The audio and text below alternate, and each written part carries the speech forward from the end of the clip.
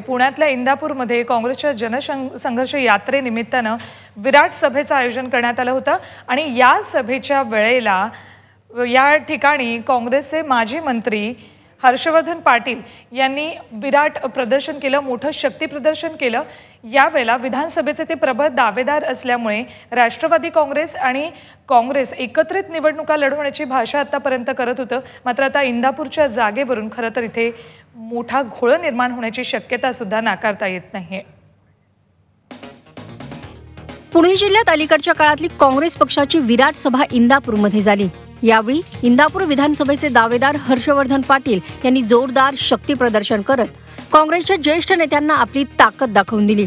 त्यामुळे दोन हजार एकोणीसच्या विधानसभा निवडणुकीत हर्षवर्धन पाटील हेच काँग्रेस पक्षाचे इंदापूरचे उमेदवार असतील अशी घोषणा काँग्रेस प्रदेशाध्यक्ष अशोक चव्हाण यांनी या सभेत केली.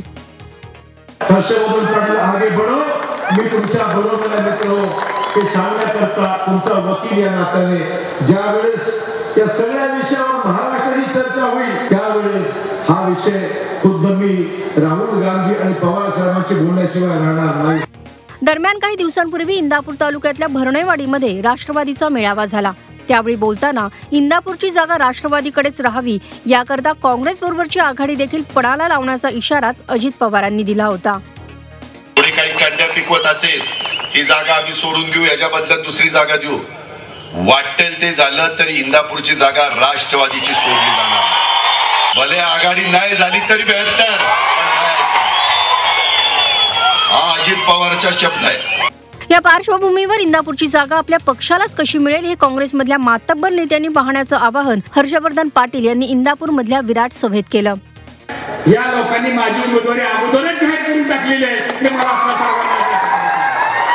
मला आता ते तुमच्या ह्याच्यात कसं बसवायचं? कारण तुम्ही एक तर्फे जा तुम्ही बाबा आणि बाबासाहेब आणि विखे पाटील साहेब तर डिझास्टर मॅनेजमेंटचे एक्सपर्ट आहेत. त्यामुळे आता हे सगळं ते कसं नियोजन करायचंय ते आपण करा. एकंदरीतच काँग्रेसची जनसंघर्ष यात्रेमधील इंदापूरची ही विराट सभा चांगलीच यशस्वी झाली.